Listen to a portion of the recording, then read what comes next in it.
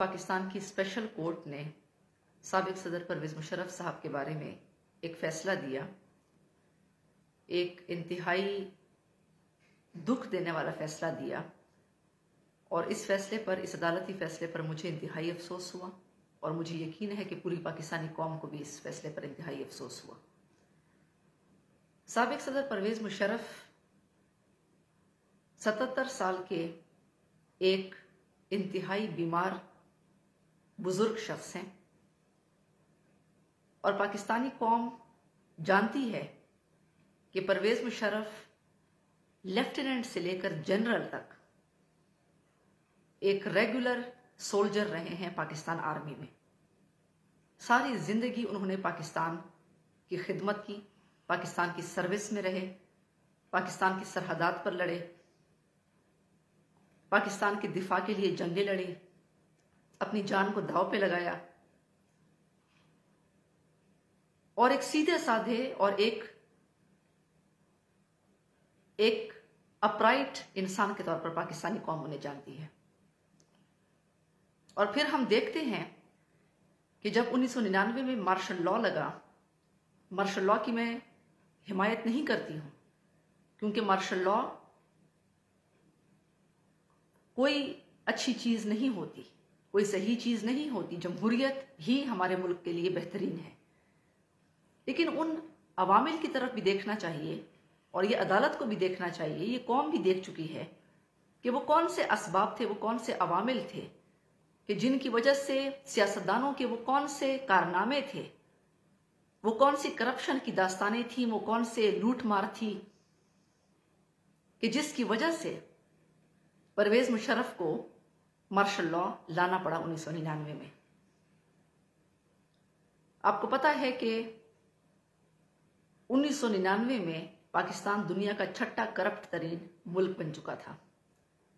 कर्ज उतारो मुल्क सवारों के नाम पर सबक वज़ीर अजम नवाज़ शरीफ ने हमारी माओ, बहनों, बेटियों के जेवरात और कई पाकिस, कई जो करोड़ों पाकिस्तानी हैं, उनके पैसे कर्जे के नाम पर पता नहीं कहाँ चले गए।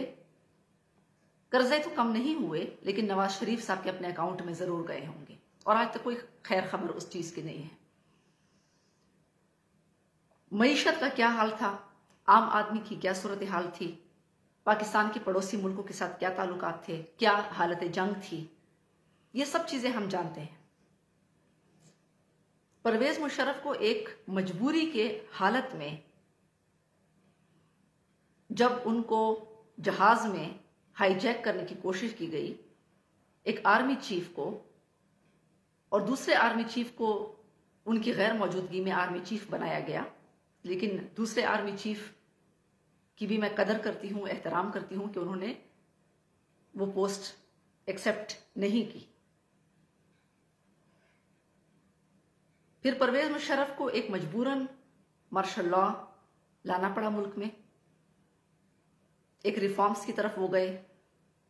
ज़ाती मफाद के लिए उन्होंने कोई काम नहीं किया। ये हम सब जानते हैं। कोई उन्होंने ख़जाने को नहीं लूटा। कोई उन्होंने अवाम का पैसा नहीं खाया। कोई अवाम के पैसे से उन्होंने अपनी जायदादें नहीं बनाई। अपने बच्चों की जायदादें नहीं बनाई। उनके दौर में महँगाई कम हुई। सबसे बड़ी बात यह है कि परवेज मुशरफ के दौर में महँगाई नहीं थी। आम आदमी की हालत ज़िंदगी बेहतर हुई। चीज़ों की कीमतें सस्ती हुई। रुपए डॉलर के मुकाबले में मुस्तहकम हुआ, डॉलर की कीमत कम हुई। पाकिस्तान की बरामदात बढ़ी, पाकिस्तान के कर्जे बढ़े नहीं, बल्कि पाकिस्तान के कर्जे कम हुए और वापस किए गए। तालीम को फरोग दिया गया खातन को फरोग दिया गया, स्पोर्ट्स को फरोग दिया गया तमाम तर चीज़ें हमने देखी। लेकिन मैं ये समझती हूँ कि अगर परवेज मुशरफ पर गद्दारी का मुकदमा चल सकता है तो फिर नवाज़ शरीफ पर क्यों नहीं चल सकता? जो कि पाकिस्तान की कौमी सलामती के राज दूसरे फॉरेन अखबारों से उसने शेयर किए। डॉन लीक्स एक स्कैंडल बना। इसी तरीके से पीपल्स पार्टी के दौर में मेमोगेट स्कैंडल सामने आया और एटमी पाकिस्तान के जो एटमी राज हैं, उनके दूसरे मुल्कों के साथ शेयर करने की बात हुई। तमाम मुल्क के अवाम की ज़िंदगी को इन लोगों ने तबाह कर दिया इन सियासतदानों ने। अवाम की हालत को देखें, उनकी तालीम को देखें, उनके हस्पतालों को देखें। आज लोग कुत्ते के काटने से मर रहे हैं, डेंगी के काटने से मर रहे हैं, पीने का साफ़ पानी नहीं है। दो वक्त खाने की रोटी जो है इन लोगों के दौर में लोगों को नहीं मिली। कर्जे मुल्क पर बढ़े तो फिर तो नवाज़ शरीफ और पीपल्स पार्टी के ऊपर गद्दारी का मुकदमा चलना चाहिए। कौमी सलामती के राज दूसरे मुल्कों को द, को देने पाकिस्तान की कौमी सलामती को नुकसान पहुँचाने का मुकदमा इन लोगों पर क्यों नहीं चलता? ये सब सियासतदान मिलकर एक बुज़ुर्ग बीमार शख्स परवेज मुशर्रफ को हमेशा डराने धमकाने में क्यों मसरूफ रहते हैं? क्यों अपने चोरी और करप्शन का मलबा से तवज्जो हटाने के लिए आवाम की तवज्जो ये सिर्फ़ परवेज मुशर्रफ की तरफ़ डालते हैं। बिलावल जरदारी को चाहिए कि वो अपने वालिद के गिरबान में देखें कि उनके वालिद की वजह से जो पीपल्स पार्टी की आज हालत हुई है, उनके खानदान की जो हालत हुई है, वो जरा उस पर देखें। सिंध की गवर्नमेंट के हालात देखें। ये सब लोग सियासतदान मिलकर इन्होंने जिस नफसियाती दबाव में परवेज मुशरफ को लेकर आए हैं, जिस तरह उन्होंने डराया है, धमकाया है परवेज मुशरफ को, और नवाज़ शरीफ ने जाती बुगज और अनाथ की वजह से, जाती दुश्मनी की वजह से एक गद्दारी का केस किया परवेज मुशरफ के ऊपर तो अदालत को यह जाती बुगज नवाज़ शरीफ का यह भी तो देखना चाहिए। नवाज़ शरीफ के कारनामे भी देखने चाहिए, नवाज़ शरीफ की जायदादें भी देखनी चाहिए लूट मार पैसे की देखनी चाहिए। अवाम ये तकबुल कर सकती है कि महँगाई परवेज मुशरफ के दौर में कितनी थी और नवाज़ शरीफ और जरदारी के दौर में कितनी थी? अवाम ये अच्छी तरह जानती है तो अदालत को भी चाहिए कि वो भी ये चीज़ें देखे। तो मैं अदालत के इस फैसले को चैलेंज करती हूँ। पूरी कौम इस फैसले को चैलेंज करती है। और मैं समझती हूँ कि इससे जो हमारी महाजर लोग हैं, भाई हैं, बहनें हैं, जो कि कराची में आबाद हैं, ये तो आप उनकी तजलील कर रहे हैं। ये तो आप महाजर लोगों को ये पैगाम दे रहे हैं कि आप पाकिस्तानी कभी भी आपको एक्सेप्ट नहीं किया जाएगा। आप कभी भी पाकिस्तानी नहीं बन सकते, आपको हमेशा टारगेट किया जाएगा।